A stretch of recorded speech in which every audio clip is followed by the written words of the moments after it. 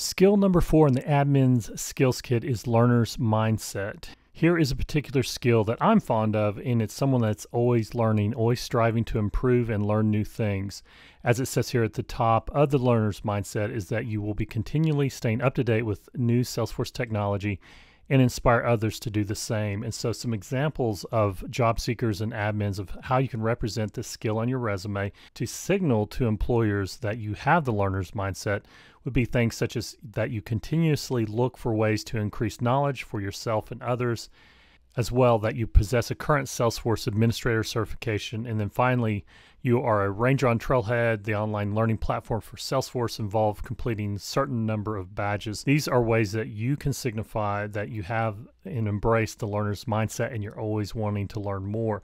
Now, on the employer's side of things, if they're looking for someone that's always looking for the latest and greatest and the newest advances in technology and what Salesforce has going on, some ways that you can portray that on your job descriptions that you would be looking for someone that demonstrates a passion for learning and staying up to date with new technology, inspiring others within the organization to do the same.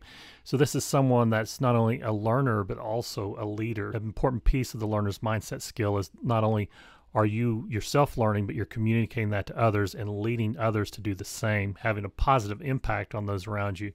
Another example that they give for employers on these job descriptions would be that you are looking for someone that's a self learner who leads by example and challenges the status quo. And then finally, you quickly learn business needs, design practical Salesforce solutions, and communicates these clearly to stakeholders. The final piece of this particular skill in the skills kit, the learner's mindset, are these resources that Salesforce provides, such as Grow a Learner's Mindset as a Salesforce Admin. This is a blog article written earlier this year, about a five minute read, as well as a lot of other resources to take that deeper.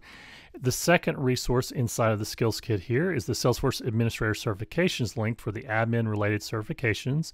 You'll find both the admin and advanced admin certification homepages here, as well as the new certification for business analysts. Check out my course on that as well. And then also CPQ specialist, marketing cloud administrator, and platform app builder. All of those are considered administrator related certifications. One quick note on the business analyst cert is this is a bridge between the admin certifications and the consultant certifications. If you go to the Salesforce consultant role, you will see business analyst also listed here under consultants. So think of that particular business analyst certification as an admin slash consultant type certification.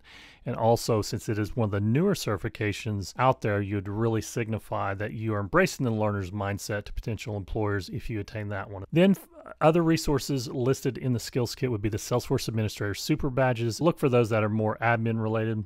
And you'll see those denoted on the badge. And then finally, a podcast from the Salesforce Admins podcast with Stephanie Herrera, and is titled Always Be Learning. And this is a podcast from several years ago, but will give you more ideas of that learner's mindset, which would be skill number four in the admin skills kit. Stay tuned as we dive into the fifth skill, which is user management, starting next.